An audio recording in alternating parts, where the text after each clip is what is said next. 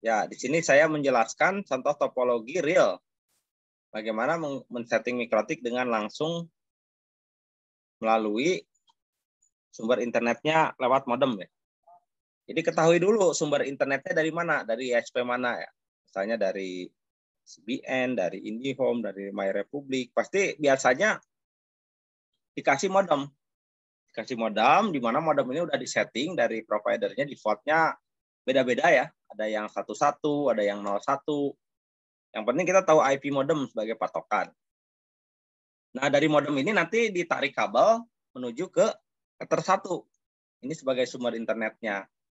Sedangkan Ether 2-nya nanti ini bisa masuk ke switch ya.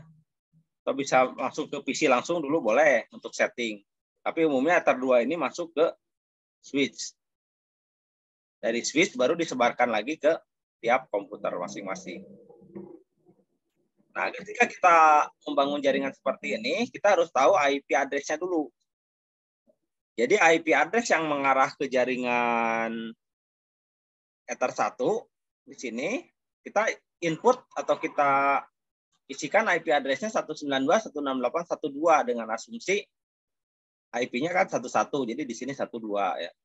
Sedangkan yang ke jaringan lokalnya kita input 192.168.10.1/24 seperti tadi aja sama.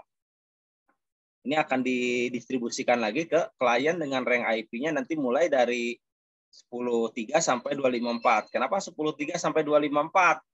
Tidak 10.2 karena 10.2-nya anggap dijadikan sebagai IP static server ya. Kan kalau server sih rata-rata harusnya IP-nya static ya. Jadi di kliennya IP pool-nya nanti bisa diedit mulai dari 10.3. Jadi ketika klien mengakses internet itu nanti melewati dulu router di sini. Melewati router baru diteruskan ke internet. Itu baru Ether 2 ya. Nah, jika ada Ether 3 lagi ya nanti bisa dibikin lagi gateway baru. Jadi Ether 3 itu dibuat untuk WiFi atau untuk hotspot ya. Jadi sama di sini kita buat lagi gateway. Jadi 192.168 101/24 ya. Ini gateway-nya nanti akan didistribusikan ke IP ini hotspotnya, akses poinnya nanti disebarkan lagi ke klien. Sehingga klien mendapat IP 103 sampai 254. Jadi kurang lebih seperti itu topologi standar ya ketika kita membangun jaringan mikrotik. Nah, jadi pertama gambarkan dulu topologinya, rootnya, yang kedua konfigurasi dasar mikrotik, dan yang terakhir baru hubungkan mikrotik ke internet. Baik lewat routernya sendiri ataupun lewat tadi klien ke internet.